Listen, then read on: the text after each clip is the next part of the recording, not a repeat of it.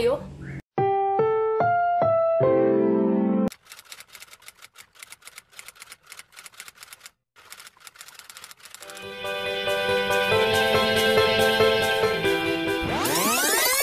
Oh, nandyan pala kayo?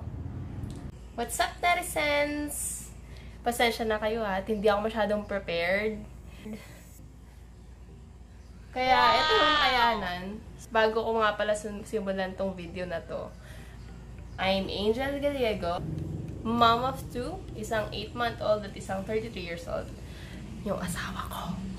Pasensya na medyo kinakabahan pa talaga ako kasi this is my first time. And, wala, ang dami nang tumatakbo sa isip ko. Well, to be honest, the reason why I started this vlog is because nadaan ako sa pilit ng asawa ko. Alam mo naman yun, na very supportive.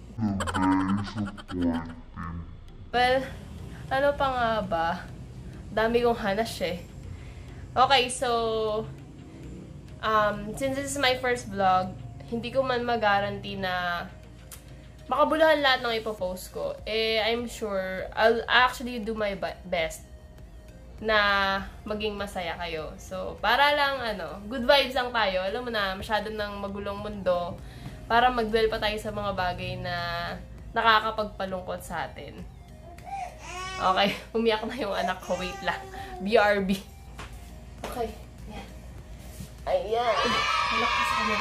Hi, netizens! My name is Amats. Short for Amatea Maris.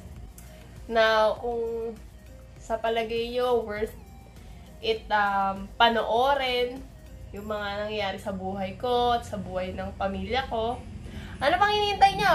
Subscribe na! Charot!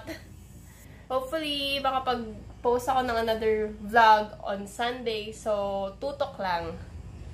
Marami kaming mga pasabog na hindi nyo pa nakikita. Yun lang. Goodbye! Goodbye! Bye, bye, bye! Bye, baby! Bakit? Okay, so, mommy and baby time muna. Bye, guys! See you Sunday!